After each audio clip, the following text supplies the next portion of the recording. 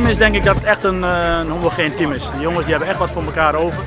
En ze gunnen elkaar de overwinning. En dat is denk ik wel uh, het geheim. Het zijn natuurlijk fantastische goede schaatsers.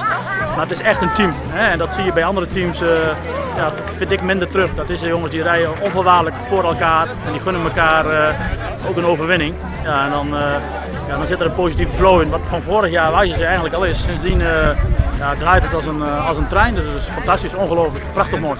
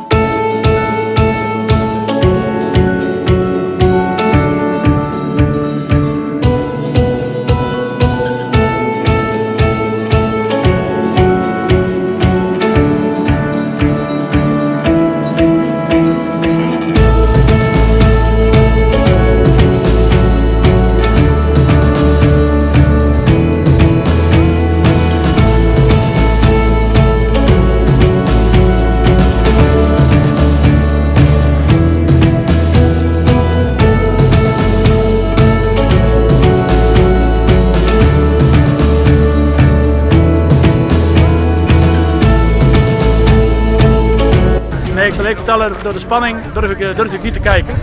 En uh, ik word ook altijd vrij emotioneel als ik zoiets hoor als we dan winnen. Dus dan heb ik even een momentje van mezelf, zeg maar.